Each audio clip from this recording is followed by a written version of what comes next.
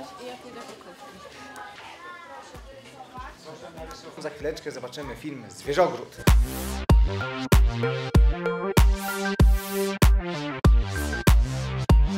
Odpaliliśmy happy end dzieciom, dzieciom i wszyscy poszli spać.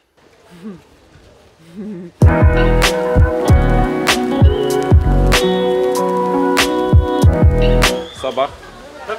Gdzie się przenosimy? Gaudemater. Tymi rzeczami dla Kasi figury od Magdy. Ciastko już my Ciastko zjedliście. Zjedliście ciastka Kasi w górze? Nie, to jest żart. Nawet nie wiedziałem, Pani że Kasiu, jest coś ciastka takiego. czekają na panią. Nie, nieprawda, ja widziałem jak ty jadłeś. To może inaczej, ciastka były dobre. Propozycja jest taka. Zjedzmy wczesny obiad.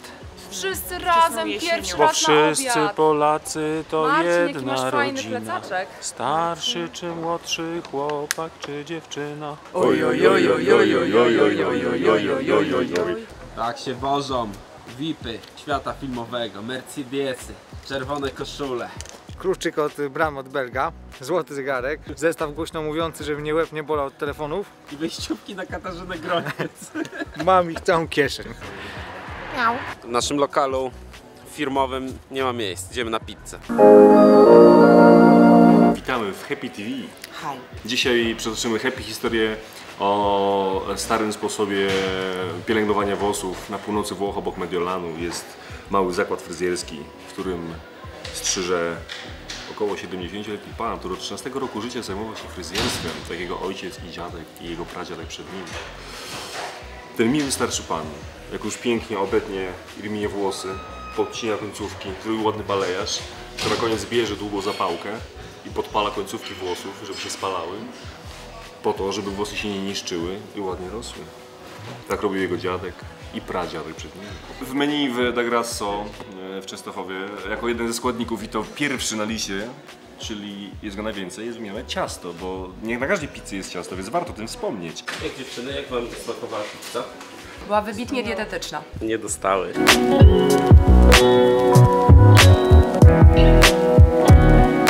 Na ostatni dzień festiwalu mamy bardzo, bardzo duże biuro nagle. Wszystko, co zostało wpakowane, teoretycznie jest potrzebne. Jak już jest największy gabaryt ścianka, to już, e, to już Niestety jest potrzebny. Jest e, Monika Meleń i jest Rogal, to jest właśnie nasz gość specjalny, e, czyli to jest tu. Powinien być z nami e, Tadeusz Ferenc. Tu mamy spotkanie. Później mamy na pewno spotkanie tutaj, otóż Okna na świat, to jest produkcja z Częstochowy. Później mamy na pewno spotkanie przed papierowymi godami. A przed? Przed. No to napisz mi przed. Tak wygląda dzisiejszy plan. Dzisiaj jest ostatni dzień konkursowy i puszczamy ostatnie filmy. Ja chciałem obejrzeć papierowe gody e, Piotrka Matwiejczyka, bo bardzo dużo dobrego słyszałem o tym filmie, ale to jest ostatni seans, więc y, wybrałem film Rogal daje radę, bo po pierwsze autorka filmu y, nas odwiedzi, a po drugie jest to film o fotografię, o Arturze Rogalskim, który choruje na rdzeniowy zanik mięśni. Porusza się na dość skomplikowanym wózku. I my ten film poczuliśmy tak naprawdę zanim, e, zanim go jeszcze obejrzeliśmy, ponieważ musieliśmy przenieść się z, e, z festiwalem do takiego ośrodka Gaudemater i tam nie ma windy, a projekcje były na pierwszym piętrze.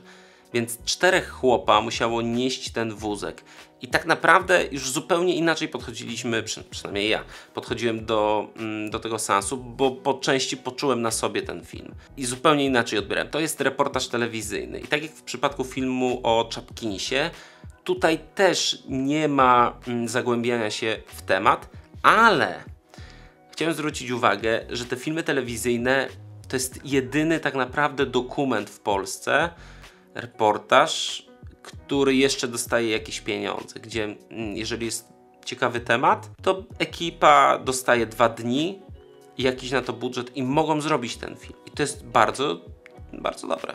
Rogal w pewnym momencie mm, mówi o swoich marzeniach, ale tak naprawdę jest o naszych. Jest o tym, czego my oczekujemy od świata, bo czasami ta nasza normalność jest dla innych ludzi praktycznie marzeniem nie do spełnienia. Ale dzisiaj zajmowaliśmy się też innymi marzeniami, bo poznaliśmy marzenia naszych dzieciaczków z Happy End Dzieciom. Chcę zostać malarką. Wycieczka do zoo. pojechać do Zwierzogrodu. Chciałabym wystąpić w teatrze jako księżniczka. To jest super. Chcę więcej tych pysznych krówek. Chcę wygrać olimpiadę z fizyki, z języka francuskiego i dostać się do dobrego liceum. Co, my nie załatwimy wygrania olimpiady? Nie wiem, czy macie wtyki w fizyce, ja mogę załatwić z francuskiego. Ja mogę załatwić kontakt do Jasia. A ja krówki. Karton krówek na pewno możemy przekozać.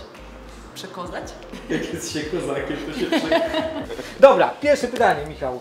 Jak się pracuje e, z reżyserem, który e, ma na głowie to, że nie dość, że musi być producentem, to jeszcze występuje w roli głównej, e, jest, reżyserem i reżyserem, scenarzystą. a ty to wszystko musisz wysłuchać i ogarnąć i zrozumieć. Pominijmy to milczenie. Ale powiedz! Nie, nie. Dziewczyny, czy można oficjalnie stwierdzić, że to jest koniec festiwalu? No nie, jeszcze jutro. I Ale tak, i nie. konkurs. Co konkurs? Koniec Konkurs, kon- koniec projekcji filmowych. Tak. Tylko teraz będą projekcje astralne. Co przewidujecie na jutro? Jakie będą atrakcje? Ja będę. E, Będzie pewnie zimno.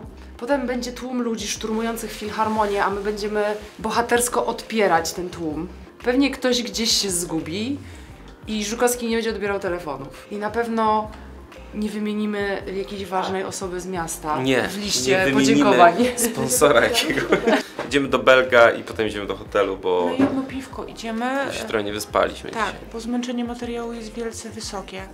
E, Wyśpimy się, jutro będziemy rzeźcy, jutro fajny koncert e, i do domu. Rzeźcy, ty? Rzeźcy. Rzeźcy. Rzeźcy.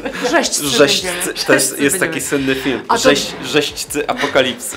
Rzeźcy, bo jesteśmy organizatorami. Dostałam gdzieś takiego kotka od mojej najlepszej przyjaciółki Irminy, żebym się nie denerwowała. I od razu mi lepiej. No trochę kasy tam jest, 3000 tu są. Tu jest nagroda, marzenia dzieci, podsumowanie głosów w konkursie I co jeszcze? i majtki Borysa.